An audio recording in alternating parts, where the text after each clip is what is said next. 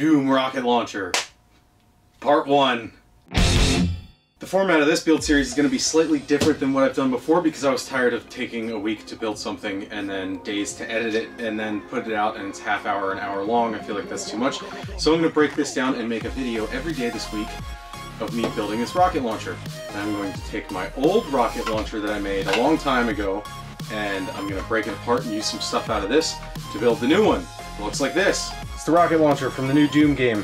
And I'm going to use these to do today's portion of the video. So since I'm doing a multiple part series today, I'm going to show you how I plan and decide how I'm going to build something. And this picture is a big part of that.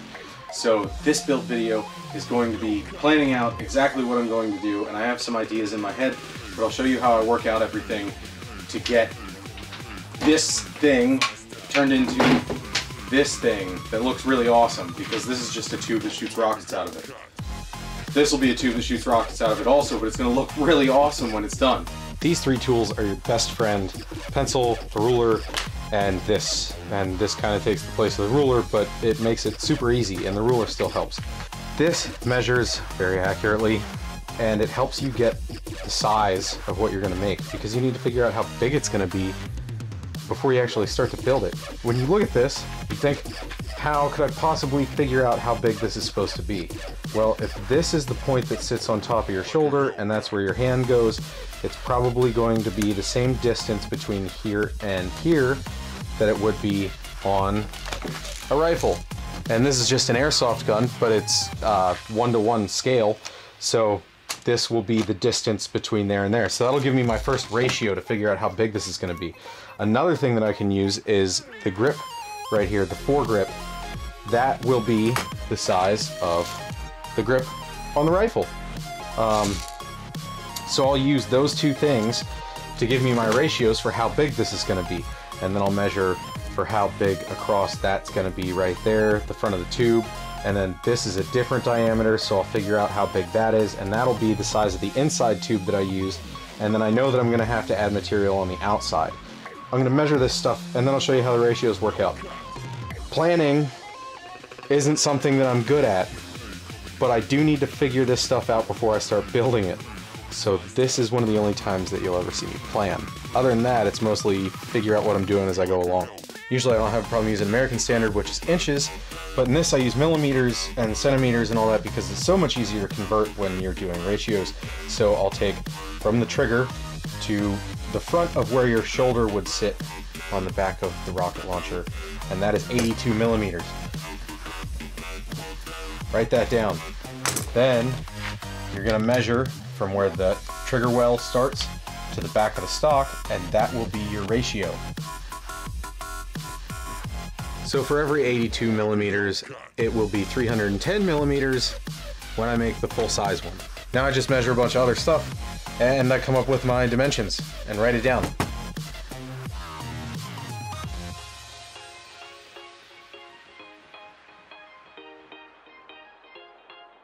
So I used the measurement from the front of the trigger wheel to where it would hit your shoulder and then compared that to the airsoft rifle and that gave me 1 over 3.78. So basically every measurement I take from the picture in millimeters gets multiplied by 3.78 and that's my size in millimeters in real life, right? Because this is 1 over 3.78 scale, the picture is. So to check that, I measured this grip and it's 23 millimeters on the picture. And if I multiply that by 3.78, it gives me 85, I believe, which is the size of this grip. So my ratio is good. So that's what I'm gonna do.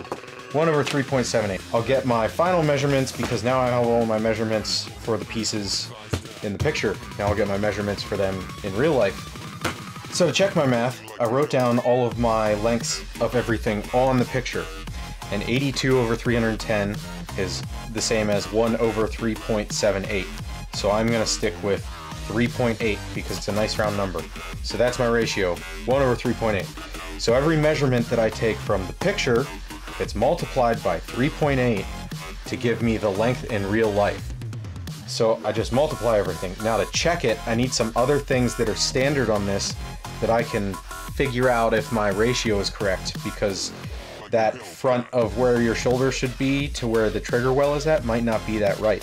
So the grip length, the fore grip length right here is 23 millimeters. And if you multiply that by 3.8, it comes out to like 85, I think it was, and that's how many millimeters long fore grip is on this. So I know that my ratio is right now. So now I just need to multiply everything by 3.8 and I'll get the overall lengths for everything that this is gonna be. I screwed up in my explanation and you may have noticed that I didn't use this. So before I show you the materials, let me tell you why. I measure first with the ruler and get everything done and then I go back and measure with this because they always say measure twice cut once. So this is when I figure out if I screwed up any of my measurements and usually I don't so I wrote it all down. But if I do have to change it, it doesn't take very long. But this is much more accurate to figure out all your dimensions and measure everything. So now I'm going to use this and I wanted you to know that. And now I'll show you the materials so the ratio that I found for the tube worked out really well because I was hoping that it would be exactly the size, and it is. This is PVC sewage pipe, and it's three inches, and that's exactly what the ratio says for the diameter of the rocket tube.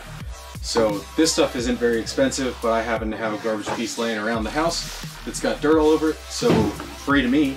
And then this was really expensive, and I knew I was going to use this because it works really, really well, and it's easy to glue that because this is a board that's made out of PVC. Sometimes it's, it's referred to as Sintra by people who do craft stuff, but it's aerated PVC. It's like a solid board of it, but it's not actually solid. They aerate it. Right there, there's bubbles all through the middle of it, and that makes it carvable and formable, and it's easy to cut, and it's paintable just like any other PVC, and then this is my EVA foam that I picked up and I got different thicknesses of it at the craft store. And then I got a big pack with a bunch of colors in it, but it doesn't matter because it's all gonna get painted. I need to find another tube for the back section because in the back of that picture, it necks down a little bit and there's a little slightly smaller diameter tube in the back that'll have like where the exhaust comes out. I don't know what I'm gonna do for that yet but this board has wood grain on one side and then the other side is perfectly smooth so I'll just have to sand the wood grain off the other side but the majority of it's going to get covered in EVA foam anyway. Now you might be wondering how I figured out these materials. Well, a lot of it is just from walking around the hardware store. Once you come up with a plan, or at least you know the dimensions of something, you can figure out what you're trying to do and then just go wander around a hardware store and you will magically find things that work for the project that you're trying to do. It does take a fair amount of time, but you'll come up with stuff. And this stuff is awesome. Uh, if you're going to try to make something and you don't want to use wood because it's going to show the grain, this is your best alternative. PVC pipe you can use for all sorts of stuff. I mean, look up PVC hacks. People have done everything with it. And then uh, the other point that I want to make in this video is that if you're afraid to start a project, you just need to dive in. No matter what you're thinking about doing, dive into it. You might come to a stopping point where you need a tool and you don't own it and you have to wait until you get the money to buy it. But it's when you reach those points that makes you good at this because when you do hit those times when you slow down and you're not sure what to do to overcome a problem when you're trying to build something, that's when you learn about something else or you figure out how to use something that's not meant to be used to do what you're trying to get done. And you'll probably see that at least a couple times while I'm building this rocket launcher this week. Anyway, thanks for watching. Subscribe to catch the rest of the videos and go check out my other stuff and see what I've built in the past back, from the dead.